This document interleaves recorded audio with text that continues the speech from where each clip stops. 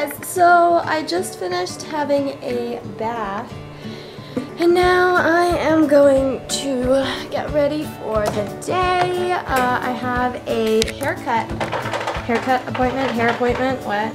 Hair appointment to get my hair cut at, um, here we go, oh. at um, 1. And so I thought I would bring you guys along. This is what we got going right now. It's not like super long, but I don't know, the side, it's just, I don't know, it's just too much for me right now. So I'm gonna get the sides of the back trimmed and then I'd like kind of like a mohawk and then a little bit of designs in the side. I got a picture of what I want. I'll insert that in here. And then I'll show you guys what the finished product looks like. I am currently done my makeup.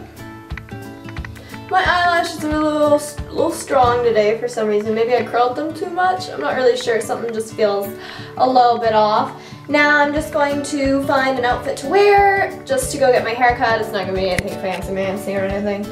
And then I basically have like a half hour-ish and then I'll have to leave for it.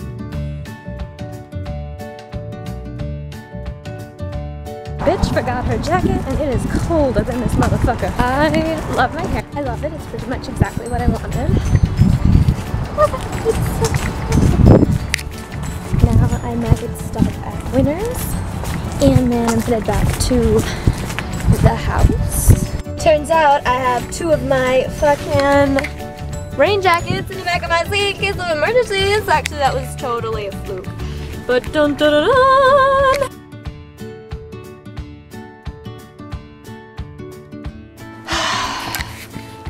The amount of pissed off I am right now is just unreal. Back again. Uh, I had I had to stop the house and then I had a little bit more running around to do, but now I am getting back to it. Found my keys, found my keys, found my keys. Oh, come on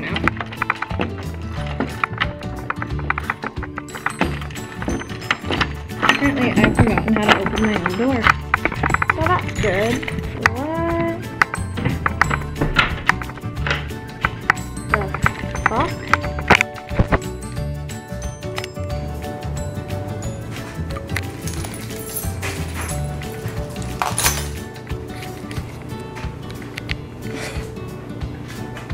Look! Ignore that. That's laundry drying. I do have a drying rack, but it doesn't hold everything, so. This is like the cutest. Let's take a bite, shall we? Bottoms up. Is that what they say when they drink something? I feel like that's what you say when you drink something. What do you say when you eat something? I don't know.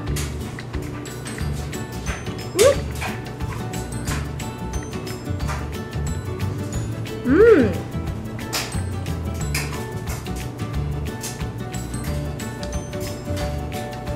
Good. Oh my god.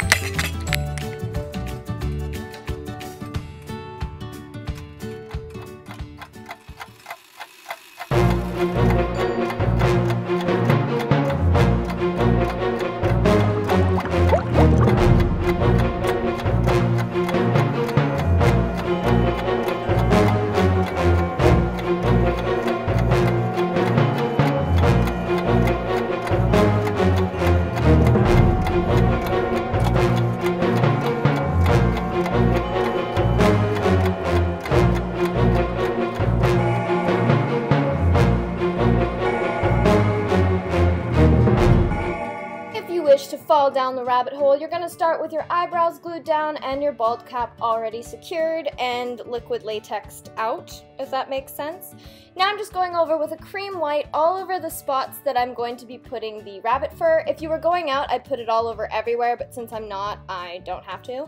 And then you're gonna lay, lay down liquid latex and rip up cotton balls and um, just spread them out all over that the area that you want fur to be basically. Again, I just did the front of my head because this is just a tutorial and I was literally going to take this look off about half hour after I put it on. and then I put I bring it down a bit on my cheeks and then later I do bring it down a bit more on my nose as well. Um, but it's kind of like a go by how you think it looks. And then I also cover the sides of my headband with the cotton balls as well just to blend it in a bit more because then it's it doesn't look like a headband at all and that's totally what we're going for. Now I'm just going to take this NYX uh, white eyelid primer and obviously paint that all over my eyelid and then I go over by brushing white body paint all over myself and then I go in with a beauty blender and stipple the white paint on to get it more opaque. I find that this um, combination of the two different like styles is better than using just a brush or just a beauty blender for some crazy reason. And as you can see now the white, once the first layer is dried, I'm going in and stippling on the white to make it more opaque.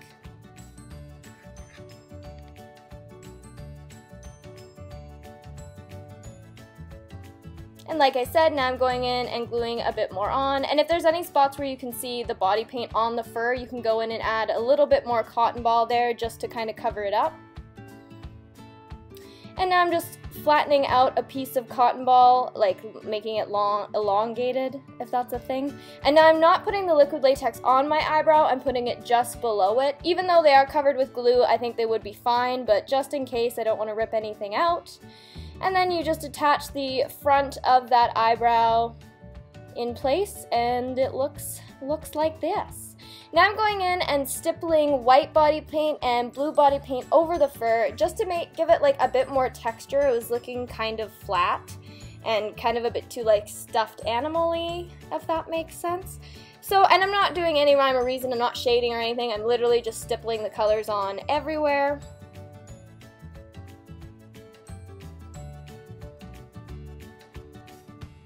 Now I'm going in with a gray body paint and just darkening my eye sockets and like right near my nose just to give a bit more depth in there.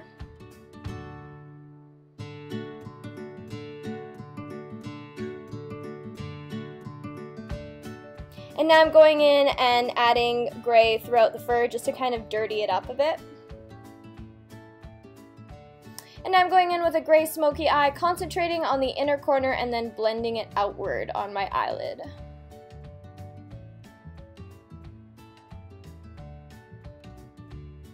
And I'm doing the same thing with a black just to kind of darken it up.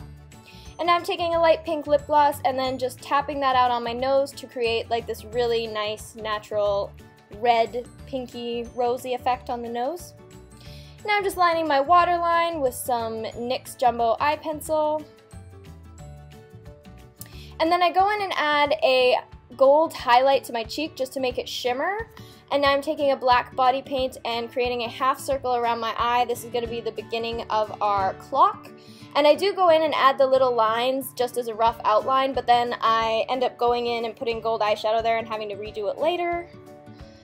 Now I'm taking some, again, just light shimmery powder and putting it on both sides of my cheeks, just as like a nice highlight. Trying to make it as whimsical as possible. And like I said, now I'm taking the gold and going in the clock and making it a bit more like metallic. And um, that ends up kind of taking away how dark it is. So then I go back and re-outline the clock just so it's easier to see. And it stands out a bit better.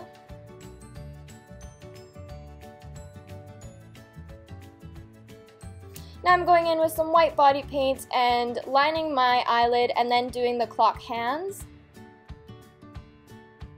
I would maybe change the placing of my clock hands now, but I think it still looks good um, with how it turned out anyways. Now I'm going in with a black and then later a light blue and just drawing like messily like running down, like teary-eyed, like dripping um, like stains from the clock kind of. I don't know, I just thought that this looked super cool. And now I'm going in and smudging out the line, the outside perimeter of the clock. You do not want to smudge the inside where the hands and the lines are. And now I'm just adding some eyelash glue and adding glitter and then I go in and add different um, sized gems because I really wanted this to be like sparkly and very whimsical and very like eye-catching.